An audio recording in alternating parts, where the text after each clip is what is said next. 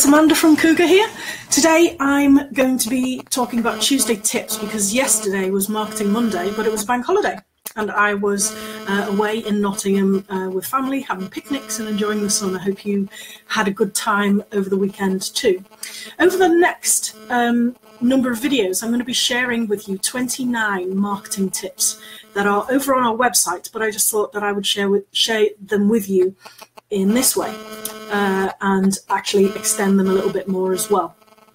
Um, so I thought I would, uh, today, I want to talk to you about case studies and how case studies are good for marketing and how they can help you get more business and show people what you actually do for your clients. So case studies are a great way to for you to get to know your customer, for you to get to know them individually, personally, how you've actually worked with them. Because a lot of the time we work with business owners, but we actually don't end up finding out how um, you know what we did with them is actually useful a lot of business owners and marketing managers that i work with don't do case studies and they don't do um, or find out you know the results they hear about them but they don't then create the results into a case study so they can show other people and again this is something that i'm going to be doing over the next few weeks with regards to my business freshening up our case studies and showing people what we do and how we've worked with other business owners so um, getting people to give you a case study is actually quite difficult thing.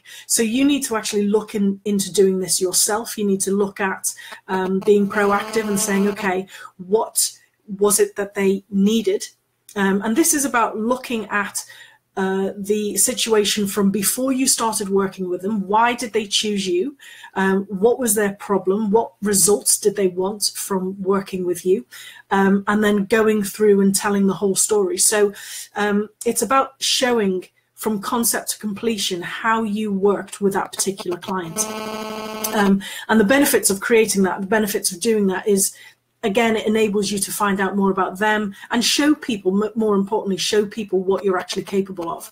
Now, in the past, I've actually had customers say to me, um, I don't want to give you a testimonial, I don't want to give you a case study because I don't want people to know that you've helped me, which is a bit tough. It's actually quite disheartening um, as well when somebody says that to you when you know for a fact the sessions that you've had with them or the work that you've done with them has been absolutely amazing work in terms of they've got a result plus more they've um, grown the business they've taken on staff uh, because you've helped them or, or whatever. So i've had that problem myself in the past where people have said you know i don't want to give you a case study or a testimonial. So it's a case really of doing it ourselves and being proactive.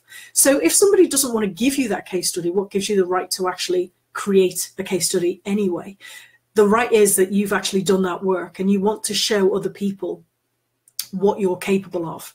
Um, and the best way of doing that is through stories. The best way of doing that is through um, showing, um, you know, what you've worked with, what you're capable of, and how you work with other people. So I want you to have a think about um, I want you to have a think about first things first is remind your clients, you know, the benefits of, of creating a case study because num- number one, if they're happy to do that, it also promotes them on your website, you know, and as long as they don't do what you do, um, and essentially not everybody does what you do anyway, even if they do do that, you do it in a di- very different way.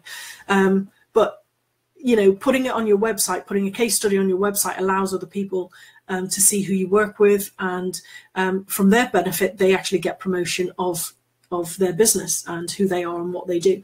The, th- the second thing is um, what you should be thinking about when it comes to creating a case study is creating a, a, a template, a questionnaire um, that is in sort of an interview kind of style so that you can interview the people and say, you know, have certain questions to say, where were you? Why did you choose us?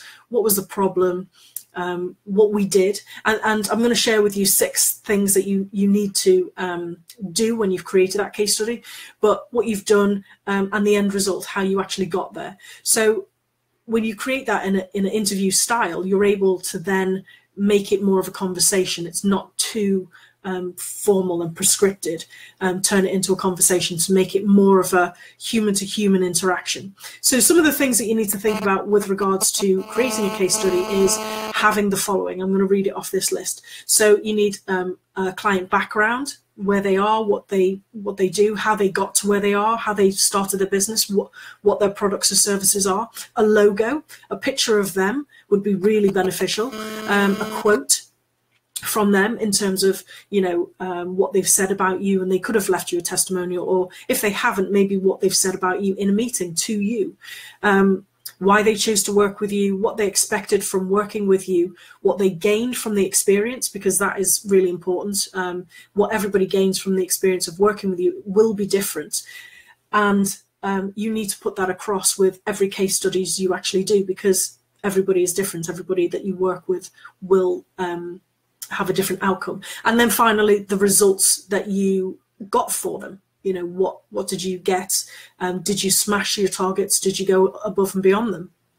You know, so basically it's about telling a story. So once you've got all of that information, you can turn the answers into a story or interview um, if your client is willing, maybe do a video interview with them and then transcribe that into a um, case study because that would be you know really good and when you add the video to the case study as well it just gives it extra weight because there's a real person sat on the other side of that camera who is telling everybody how they feel about you um, and remember, people buy from people. So if people see that person, um, I've had a number of um, people who have bought uh, products and services from me because they've seen a testimonial or a case study from somebody they knew.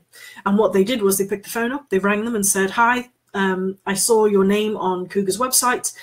They never tell me about it, but um, they said, I've seen your name on uh, Koogar's website, just wondered, you know, is this true?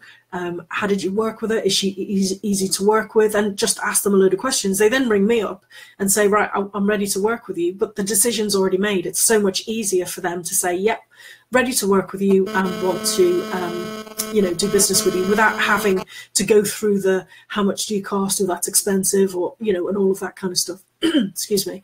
So have a look at case studies. If you haven't created them yet start thinking about creating them. So i'm going to just give you excuse me seven tips when it comes to writing a case study okay?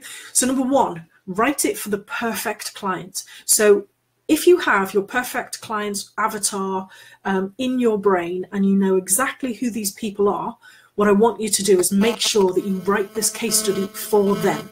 Okay, write it for them in the in the tonality, in the language, in the conversational kind of way that you're going to have. Write it for them because when you write it for them, other people will tap into it and feel that it's for them as an individual and not for a mass audience.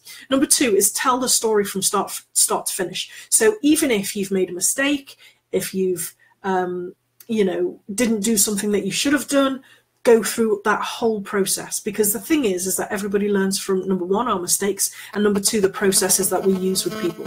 So go through that story whatever it is from start to finish. When you met that client to the end result even if they're working with you still today and even if they're not you know if they're not working with you then that's fine. Um, but go through that whole story. Number three is provide it in an easy to read format. And what that means is have headings make things bold make quotes stand out put the photograph in so that it's it's skimmable. Now when you read something online it's very different from reading a book you already know this. So what I'm trying to say is make this case study as, as easy to read as possible so that the person who's reading it feels like they're getting as much benefit from it as they possibly can. Uh, number four, include real numbers or screenshots. So for example, obviously this depends on what you do. Now, it's easy for me to um, include screenshots because I do social media training, um, social media marketing, marketing plans, and all of that kind of stuff. It's easy for me to have that kind of um, information to share.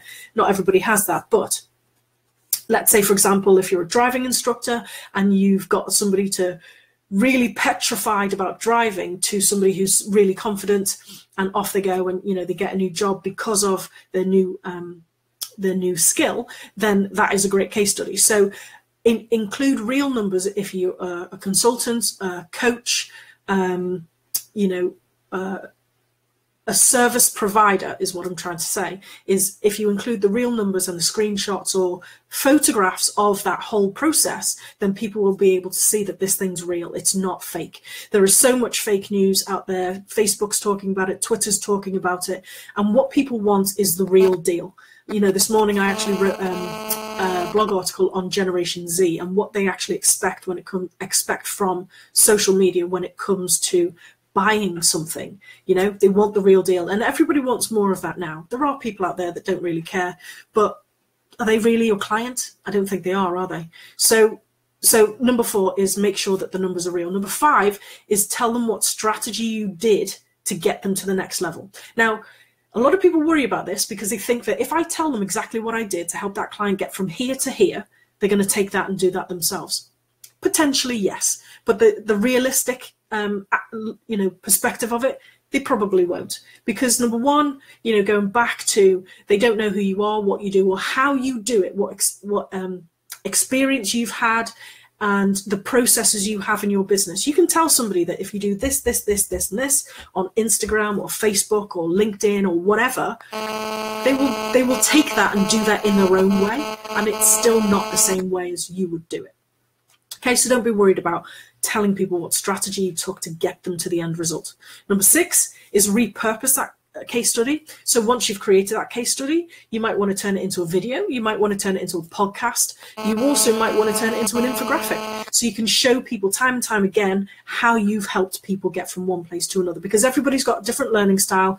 Not everybody reads online, you know, um, not everybody uh, skim reads. They prefer to read the whole thing. Uh, some people prefer videos, some people prefer listening. So make sure that you're able to repurpose that content in the way that you can. And number seven is um, have a look at your current marketing and work out where you can slot in these case studies. So, for example, obviously, you want to add it to your website. Um, you might want to add it to your email marketing signature. You might want to add it to proposals. So, if you write proposals or project plans for people, you pop in, um, you know, a uh, either a screenshot or part of the text on that proposal. Click here to read more over at the website or whatever, um, and do do things like that. So hopefully, uh, those seven tips are good tips to help you create. Um, case studies. So as I said, the this video is the first video of 29 videos that I'm going to share with you in terms of my marketing tips. Um, I hope you found it useful. If you have, feel free to share it. I'd like you to share this video with a business owner or marketing manager that you know who will get benefit from learning new tips and tricks. And do you know what I'm going to say? Some of the stuff that isn't that I'm talking about isn't new. It's just having a look at the basics, having a look at things that you could pep up or tweak or change, um, add to, remove maybe. So again, I hope you find this useful. I'll be back next Monday at the normal time of one o'clock, um, and it's going to be Marketing Monday because it will be a normal Monday instead of a bank holiday. And again, as I said, feel free to share this with as many people as you um, know, uh, business owners and marketing managers who will get benefits from learning more about their marketing. Have an awesome four day week, and I'll see you guys soon. Take care.